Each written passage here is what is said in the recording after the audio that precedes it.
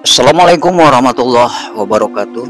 Banyak hadis yang beredar yang menyebutkan bahwa pada malam pertengahan bulan Syaban atau nisfu Syaban, Allah Subhanahu wa taala akan mengampuni seluruh penduduk bumi kecuali orang yang menduakan atau mensyirikkan Allah serta orang yang menyimpan rasa iri dan dengki. Walaupun banyak juga para ulama yang berbeda pendapat dalam menentukan hadis-hadis tersebut sohih atau doib.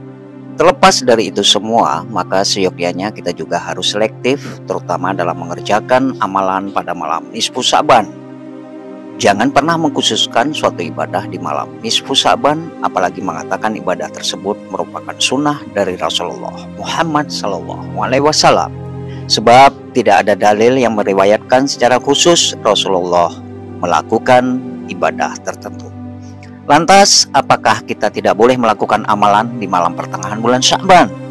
Tentu tidak ada larangannya. Kita bisa melakukan banyak membaca Al-Quran, sholat qiyamulail, banyak berdoa, zikir, dan seterusnya.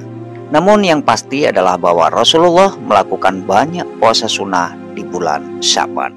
Maka jangan tinggalkan amalan sunnah tersebut dengan memperbanyak puasa sunnah di bulan Sya'ban ini.